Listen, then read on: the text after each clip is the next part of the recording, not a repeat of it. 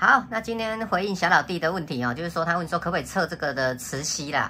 那我都没有测的原因就是，我是觉得装手机有重量哦，在拉的话那个会比较明显呐。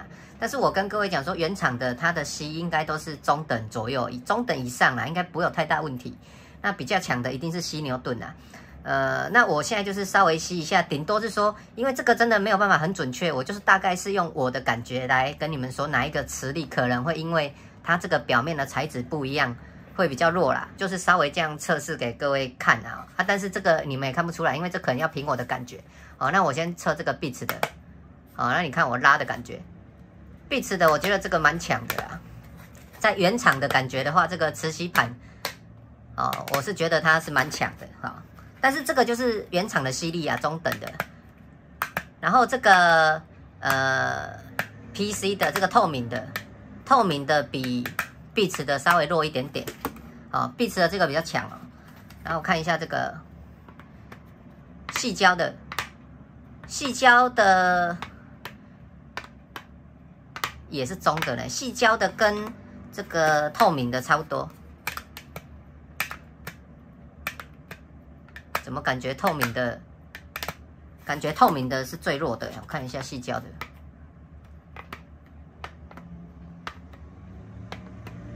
细胶跟透明的很接近，但是我这样子，那我猜错了哦。细胶的第二哦，这个第一名，这个第二名，透明的吸力最弱。然后我看一下，这个是犀牛盾的，犀牛盾是两倍的。哦，犀牛盾的这个就就很强。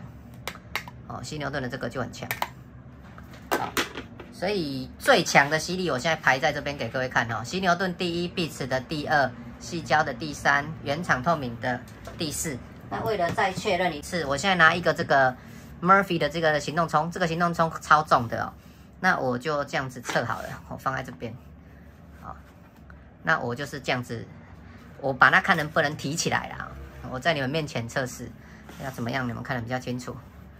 好，你看，原厂透明的没有办办法把它拿起来哦。好，那换这个。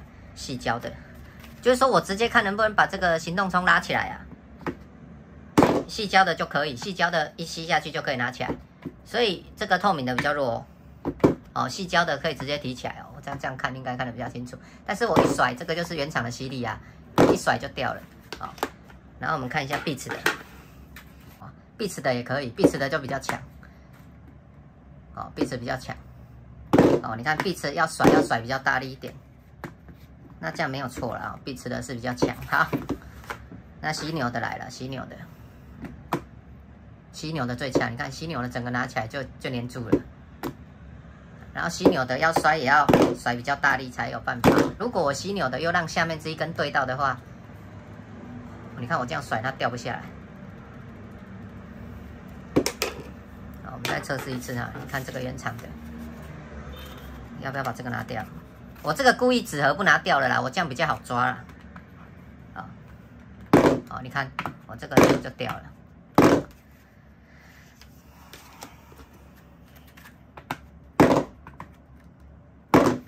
细胶的比透明的强一点。我现在这个是去对它那个下面那一根，哦，壁齿的最强，壁齿的是原厂这三个里面最强的。啊，那犀牛盾就不用讲了，犀牛盾是更强，犀牛盾整个连住哦，甩都甩不下来，要用力一点它才甩得下来，好吧？那有没有解答到你的问题？但是我是认为啦，这原厂的这三个很接近呐，就差一点点而已啊。那吸力最强的就是按照这样排列，犀牛盾、贝齿、细胶，然后再来是透明壳。好，那今天自己希望有回答到你的问题。